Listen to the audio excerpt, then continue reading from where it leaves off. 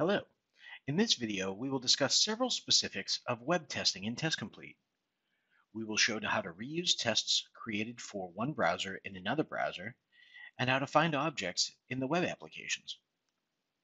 With Test Complete, you can perform automated functional testing of websites and applications, check their accessibility and performance.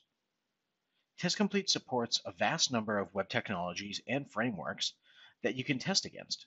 For example, standard web pages designed in HTML, CSS, and JavaScript, or complex web applications built in AngularJS, React.js, and Shadow DOM, or even Chromium embedded frameworks.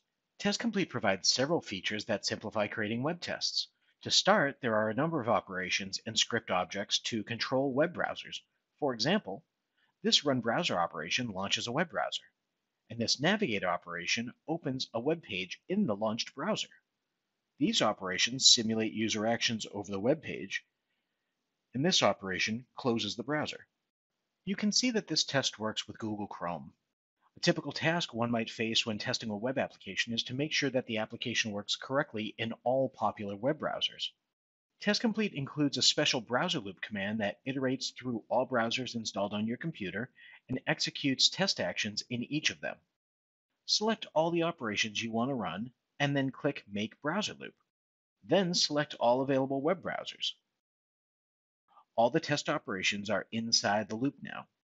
Note that the Run Browser command has been removed from the test. It is no longer needed because the browser loop will handle launching the browsers.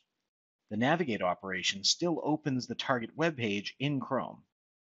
Let's update the operation so that it opens the page in a browser relevant to the current browser loop iteration. When you run the test, Test Complete launches a web browser, simulates user actions, and then moves to the next browser. In the test log, you can see the results for each browser. You may have already noticed that the way Test Complete addresses web elements in a test differs from how they are called in the application source code or web page markup. To make these tests easier to understand, Test Complete gives a short custom name to tested objects, for example, the search text box on the main page is called Front Page Search Box. These short custom names are stored in the name mapping repository.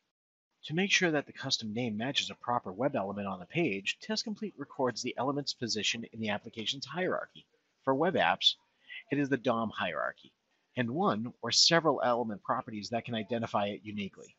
Usually, it is an element's ID or caption. This process is called name mapping.